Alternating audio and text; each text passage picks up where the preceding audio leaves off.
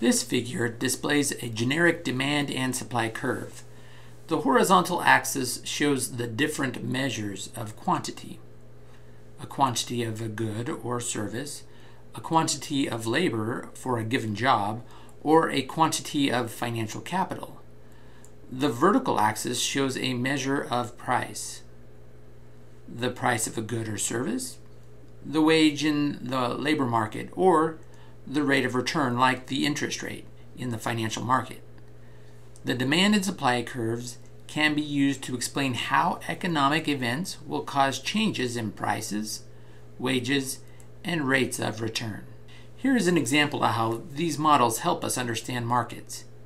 In 2010, the median salary for nurses was $64,690. As demand for services increased, the demand curve shifts to the right from DO to D1, and the equilibrium quantity of nurses increases from QEO to QE1 the equilibrium salary increases from PEO to PE1. Initially, salaries increase as demand for nurses increases to PE1.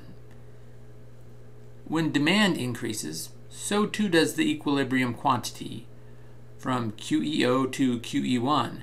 The decrease in the supply of nurses due to nurses retiring from the workforce and fewer nursing graduates, holding all things equal, ceteris paribus, causes a leftward shift to the supply curve, resulting in even higher salaries for nurses at PE2.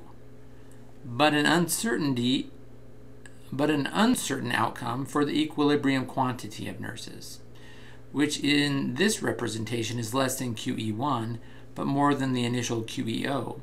However, an increase or decrease is indeterminate.